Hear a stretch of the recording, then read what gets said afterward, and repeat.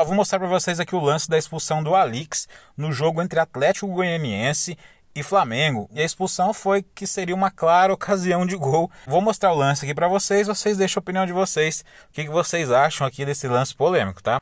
O lance é esse aqui, pessoal. Vou aproximar já, mas só vou mostrar para vocês aqui que realmente só tinha o Alix, então seria talvez uma clara ocasião de gol mesmo ali se o Pedro passa. Beleza, até aqui concordo com o árbitro aí, uma clara ocasião de gol. Aqui o lance, pessoal. Olhem o pé direito do Pedro.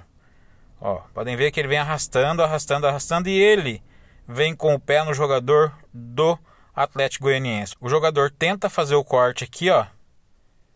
Podem ver, ele vem para tentar fazer o corte, o Pedro vem arrastando o pé e acerta ele aqui, ó. Eu vejo o Pedro acertar ele e não ele acertar o Pedro, porque aqui o jogador ele visa a bola. Observem que ele tenta chutar a bola. Ó, acho que ele até fura, né? Ele até dá uma furada ali, que eu acho que o Pedro é, o Pedro dá um toque aqui, ó, e faz ele dar uma furada na bola. Nisso o Pedro vem e dá esse toque aqui nele. Vou dar um play aqui no lance, olhem só. Podem ver, ó, como o Pedro que vem arrastando a perna. Olhem aí. Essa arrastada do Pedro aqui de perna, olhem por esse ângulo aqui, ó. Como ele dá uma segurada, ó, e depois vai no jogador. Aqui fica mais nítido ainda para mim, ó.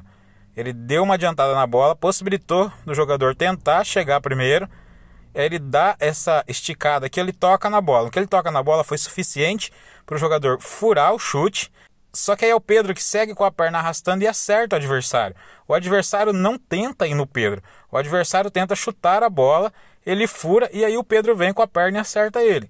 Observem aqui no play, ó. Olhem só como o Pedro que acerta ele. Vocês observaram isso aqui? Será que eu estou vendo coisa? Enfim, deixe sua opinião aí nos comentários. E aqui por trás, pessoal, olhem só, o Pedro arrasta a perna. Olhem aqui, ó, o jogador em momento algum tenta acertar o Pedro. Olhem isso aqui. Ele tenta chutar a bola. O Pedro que vem e chuta ele.